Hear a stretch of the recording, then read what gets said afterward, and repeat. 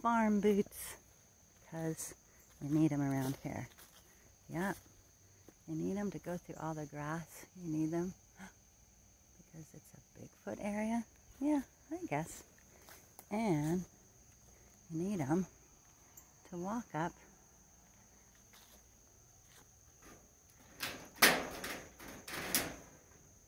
and take a shower.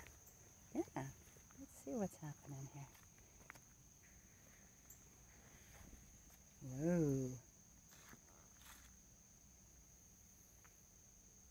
Whoa. Whoa. I guess this is what you do here. All right, let's see how this goes.